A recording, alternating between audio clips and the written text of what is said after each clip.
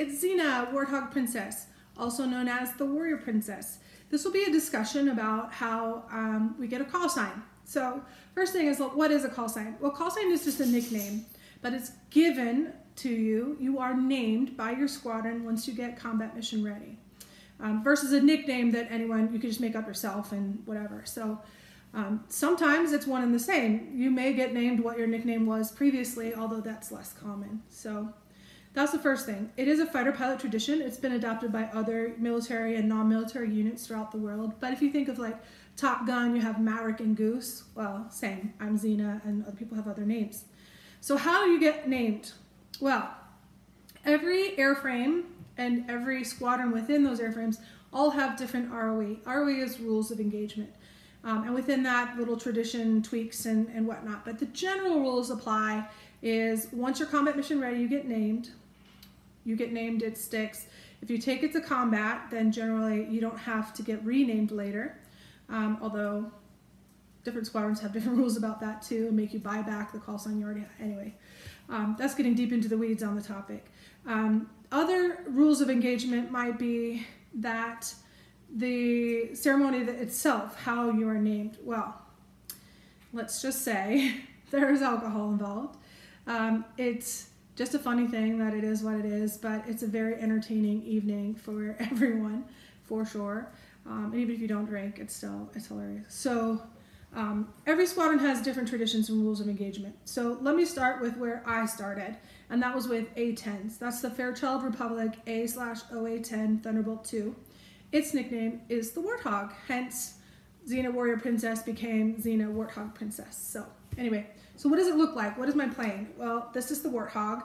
This is the old style paint scheme.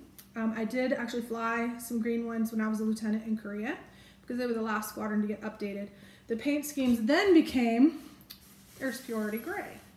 So they were much harder to see actually visually as you're looking both down at the ground and up at the sky. So that's the warthog and the color. And I was in Korea, so um, definitely an adventure there. I did a little pickling of my liver in those days. But our traditions included one, you had to be combat mission ready. You had um, you had to toast the squadron as part of your toast.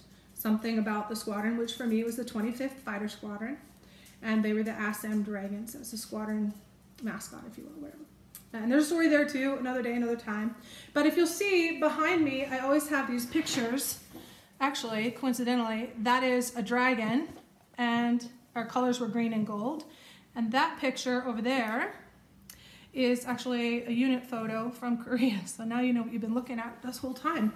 Anyway, so there I was in Korea, and you had to toast the squadron, and the lieutenants would prepare a bullet. So this is a bullet, a 30 millimeter bullet. It's not got any um, gunpowder in it. It's demilled or whatever. See, no firing pin or anything. It's just a award decoration. This was actually um, Top Gun for my training. Anyway, um, so this is a, a, trophy, if you will. But if you imagine this without the tip on it, that 30 millimeter shell is about seven shots of alcohol. So that's a lot of alcohol. We had to toast a squadron, drink the bullet, invert it to prove it's empty, climb up on the counter and kiss the warthog head that was on the wall. And the little tusk was loose. So if you screwed up any part of that process, you'd start all over again. So how did I get my name? Well, Xena was very popular at the time. This was back in April of 97.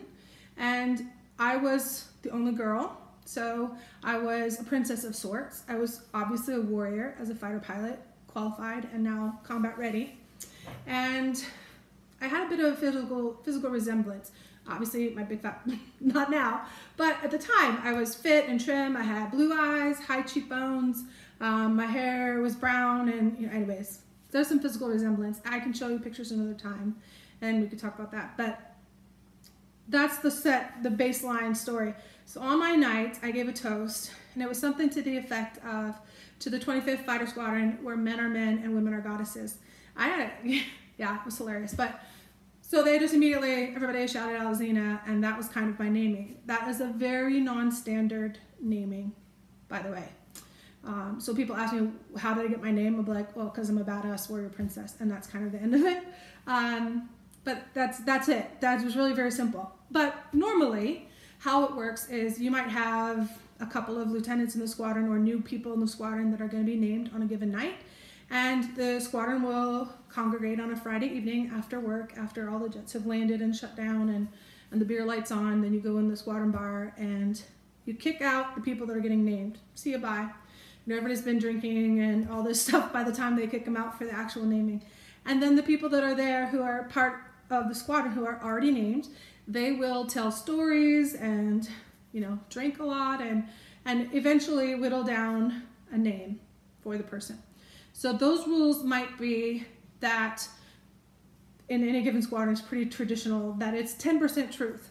Well, 10% really isn't very much, you know. So the more entertaining the story, the more likely the name would stick, the more creative and, and whatnot. But so you guys, people just take their turn as they see fit to stand up and tell what the name they recommend and why, and there it goes. And it's just a process.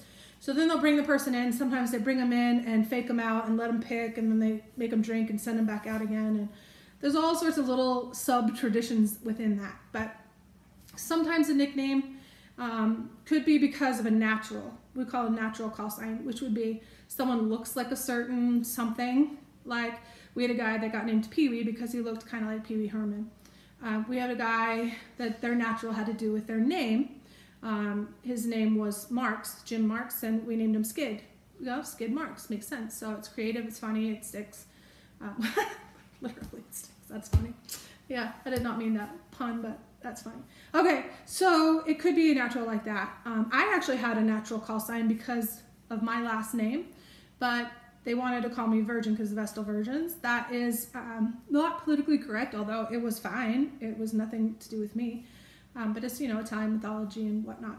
You look up Roman history; it's it's there. I've actually been to the the palace where the virgins did all their stuff. But anyway, another story. But in our politically correct world, as Air Force was transitioning, that was that was not to be.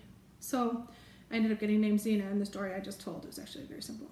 Um, so other gals have come out with different names. We have a person named Rack because well, and actually there's a story about one of the racks on the jet, but um, there's another gal named Mounds because Almond Joy's got nuts. Um, so all different ones. Anyway, guys got names like T-Bone, like there's a T-handle that shuts the engines down and he did a bonehead thing and accidentally pulled that. So he got named T-Bone. T for T-handle, bone for bonehead, T-Bone.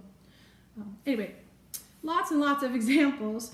The name might be an acronym for something else. Like we named a person Tulsa, total unbelievable lack of SA, which is situational awareness. We named someone Fraggle. Effin ran across Groom Lake, F R A G L. Groom Lake is Area 51, and it's a prohibited flying area, like surface to infinity. And we fly all around that area, but you can't fly in that area, so you got renamed. Um, but anyway, a lot, a lot of things where names can come from and what they are. Other basic rules of engagement are no whining. The more you dislike it, the more it is likely to stick because, you know, where fire clouds get tough or get out.